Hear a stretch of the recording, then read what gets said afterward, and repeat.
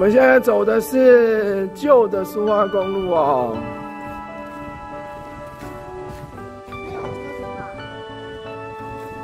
没有车子吧？没有。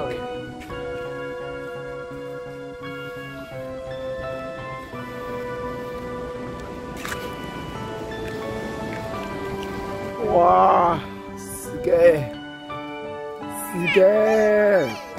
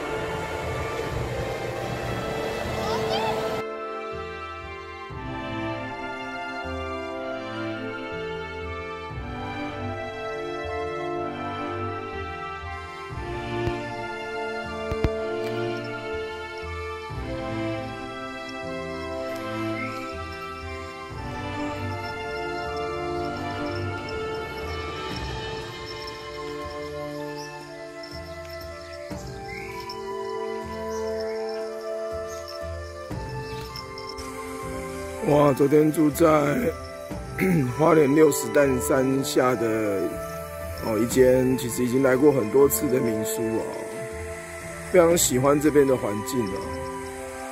每天早晨的这种，你看，稍微走出乡间角落，可以鸟瞰整个纵谷这种感觉，真的非常棒。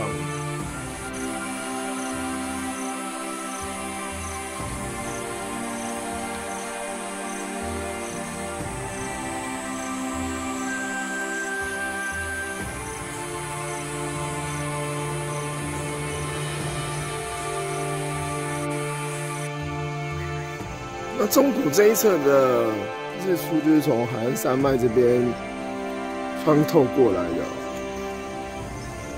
然后你其实不同的季节，当然稻田的颜色都会状态都不太一样哦。那我们今这一次来的这个时间的，刚好是水田刚过。其实这个时候的稻田也是非常非常的雅致哦。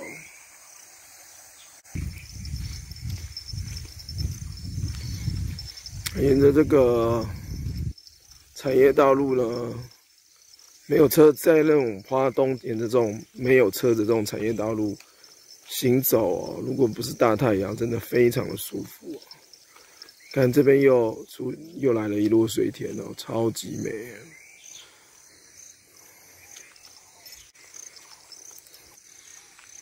讲到这水田，我又想到前阵子去日本的时候，看那个川本山南先生呢，他曾经说过，他觉得日本最美的这种风景，其实是最有代表日本风景，其实是水田哦。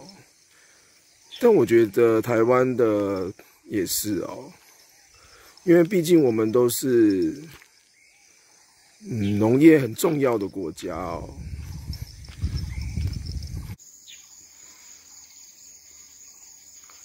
这个方向呢，好像是可以看到玉山的哦。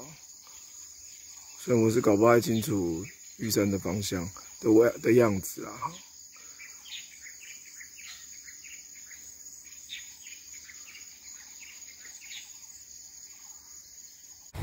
我不论是城市呢，或者是乡间小镇呢，我觉得早晨的散步都是最迷人的哦。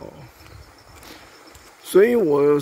我就想说，曾经有讲过很多次嘛，就是其实呢，你要感受跟体会一个地方，真的一定要在那边过夜了。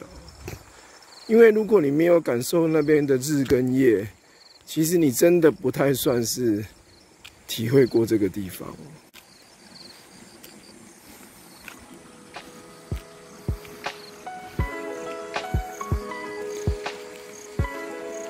我现在就是种谷的，这边就是都是梯田哦。这个区域呢，几乎都是梯田哦，非常非常的漂亮哦。那当然，你白天啊、晚上、傍晚、下午的感受其实都是不太一样的哦。然后远方就是非常美丽的中央山脉哦。然后前面就是重谷嘛，从这边看就觉得台湾真的非常的漂亮。我从日本回来之后就觉得，哎，台湾的这些景致呢，其实真的非常非常的美。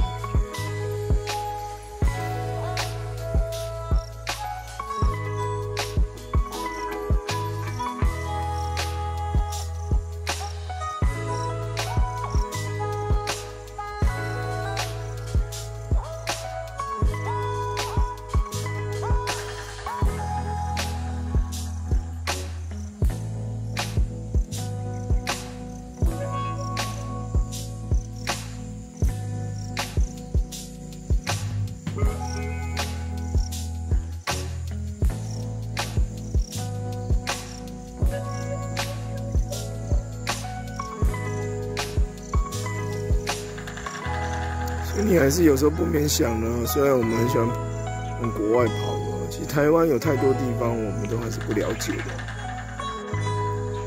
还是要花很多时时间来了解我们这个土地。我们看到这边，其实就可以看到这个山脚下这个梯田的景致哦，非常非常的漂亮哦，层层叠叠的一直往下面哦。那前面这一块稻田其实还蛮有名的哦。其实，哦，如果你有看过齐柏林的老师，呃，齐柏林导演的拍的《看见台湾》哦，其实有一小段的空拍的整个一望无际的稻田呢，其实就是在这一段哦。哦，就是在前面这个这一整块的稻田，有没有看到？这个是梯田嘛，然后呢？一一层一层的往下，然后一直往纵谷九线的方向哦。然后这边的水郡非常的丰沛哦，就是水从山上冲下来，然后也很湍急哦。总觉得最后面那个山最高最高比较远的那个山很像玉山，不知道是不是？不过应该没有那么近才对。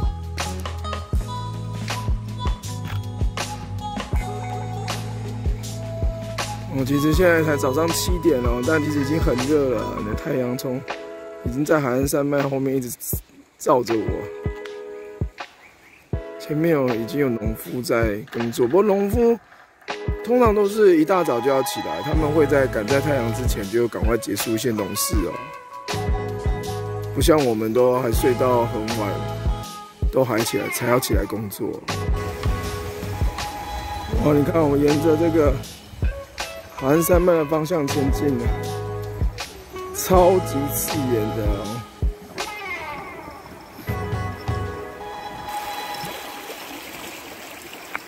水非常的冰哦，非常的湍急哦，这是灌溉用的水。